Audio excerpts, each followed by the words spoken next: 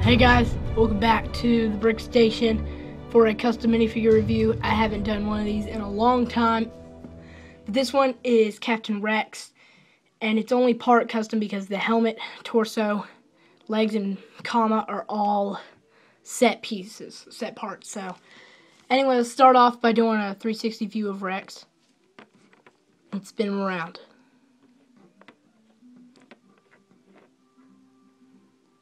So, uh, his helmet is, I just used the Phase 2 helmet. I gave him the standard Clone Trooper head that uh, apparently is the new standard head from LEGO that we're going to get on all our Clone Troopers now. Um, I used the old, the Phase 1 pauldron, but I painted it blue and left some parts of it unpainted because it his uh, pauldron in the series has some obvious paint missing and battle damage.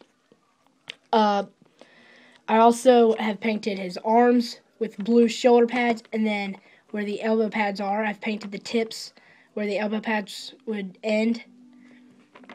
Um, I went old school for this part because I didn't have enough paint, and I just used a black Sharpie to draw in the that part right there where you can see his undersuit or whatever. And then I let him keep the uh, phase two legs because they had knee pads and the tally marks and everything, and he kept the same kama. Um, so that's pretty much it.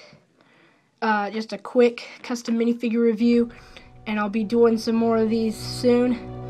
Thank you guys for watching. Don't forget to like this video, subscribe, and I will see you guys later.